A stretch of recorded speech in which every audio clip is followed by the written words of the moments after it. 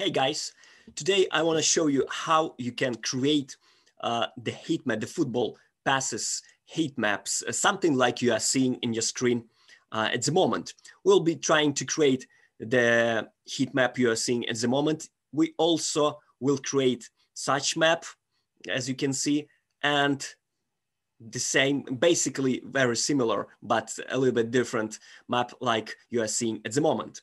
So now let's switch to the Jupyter Notebook I prepared before. So first thing first, we need to import all the imported libraries we'll be using during this video. And let's run this cell. We'll import mplsoccer, Pandas, NumPy, requests, and JSON normalize we'll be using during this video. Then what we need to do is basically to get data from somewhere. And uh, we'll uh, create, we'll get this data from StatsBomb service from the open data, StatsBomb uh, providing to all the people interested in uh, football analytics and football data. We can run this. Then we, we will convert this data, which is JSON format, into a tabular data, which is uh, and pandas data frame. Let's have a look what we got. So this is the data we'll be using. Well, I'm showing only the first five rows of this data. Okay. Now, what we need to do in order to create a heat map? Well, we need to uh, filter out only the passes because these are these data, data set um, includes all the events during this match. So we need to filter out only the passes and filter out these passes for specific team. So let's do this. This string, this expression basically does what it, what it says. It's, it, it filters out only the passes and we'll use the French passes. But, oh yeah, I forgot to tell you, uh, these these are data sets for a final match of World Cup 2018 um, between France and Croatia. So we'll choose the France as a team we'll be analyzing and we'll filter out the passes. What we're doing next, we are saving the coordinates of these passes into a separate variable called location underscore XY. And location, what is location? Let's find this location in this data set. And here it is. It's basically the coordinates, the X and Y of each event.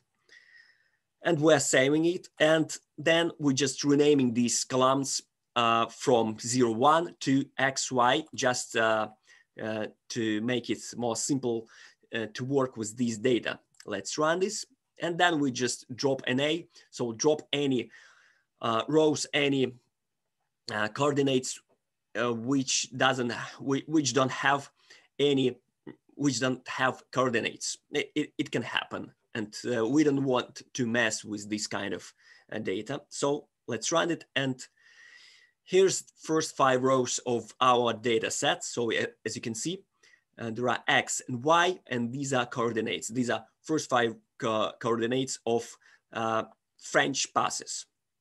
Now let's finally get down to the business and create a pitch map, um, a heat map of these passes.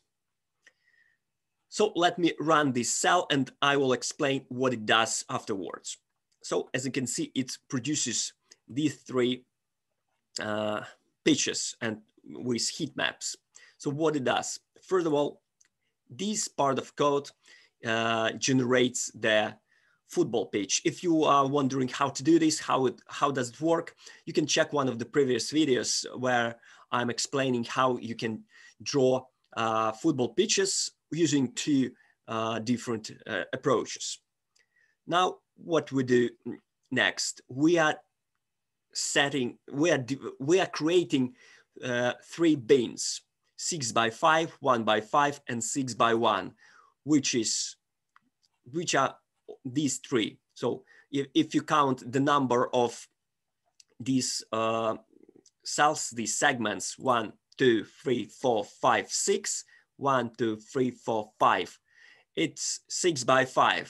This one is one, two, three, four, five, six, uh, five by one. And this one is six by one. Now, what we need to do next? We need to uh,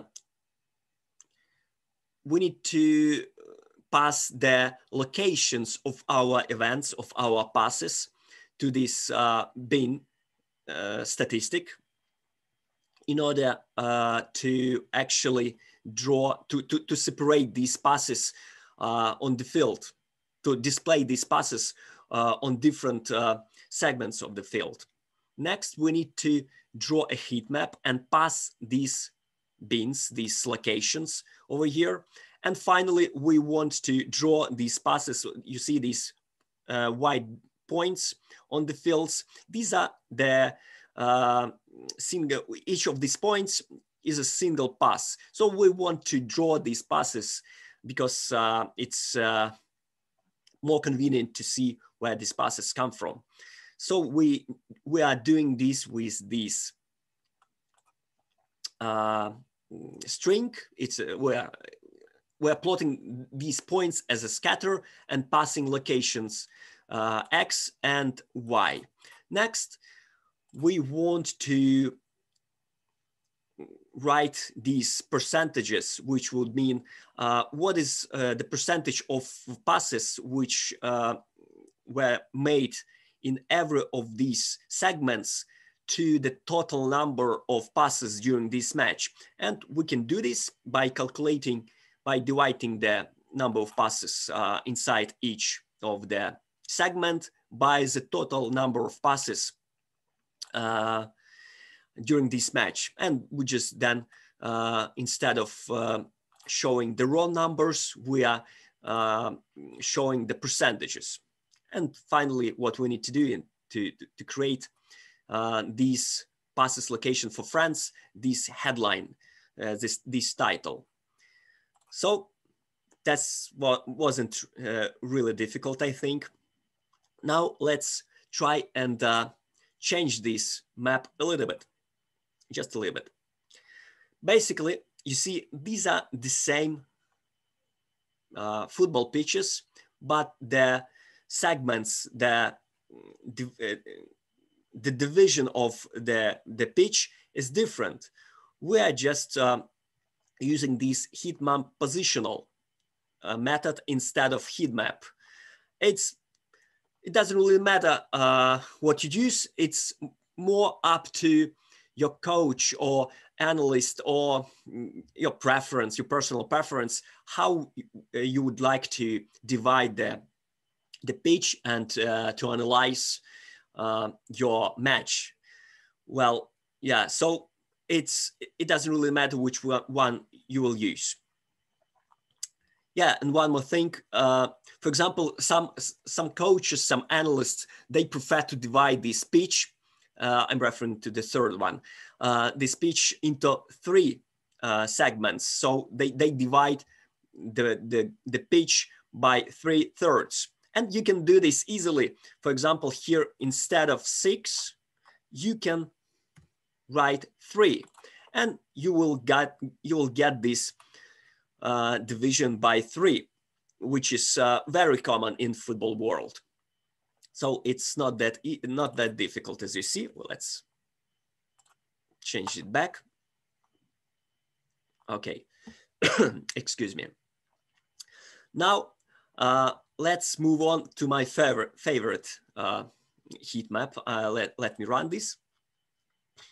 So basically what it does, it divides the football pitch uh, in 25 by 25 bin segments, which you can see here. It's, yeah, 25 by 25.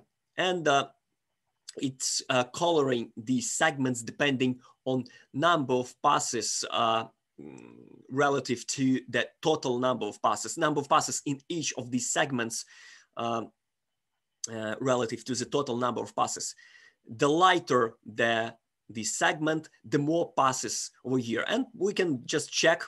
We see that the, there were a lot of passes on the left wing, on the center, And uh, we can see that, yeah, that that's exactly the case. The 25% were here on the left, 25% were here on the center. And basically it's the, the division, the, the number of segments and their uh, size is different. But yeah, you, you see here uh, in on the left, uh, more passes. And this kind of, this number of passes refers to these segments. So basically it shows the set, all these uh, heat maps, these three, these three, and this one shows the exact uh, data, but uh, it shows differently because different people prefer different heat maps, different uh, ways of uh, perceptions and uh, yeah, it's always a good idea to present different uh, ways to, to visualize uh, the same data because different people uh, have uh, different preferences. So what it does, basically, it divides uh, the this field that, that, that football field into 25 by 25 um, segments and it also uses this Gaussian filter, which smoothes the, uh, the colors, I would say. We can try and use it and comment it out to see what will happen. Basically, it's the same data, but with a different visualization. We can get it back and the reason we're using this, because it's just nice to see, nice to have a look at this kind of heat map, in my personal opinion, of course. So basically that's it for today. I hope you like this video. Uh, click like, subscribe, post your comment below, and uh, practice. Practice makes perfect. Thanks for watching.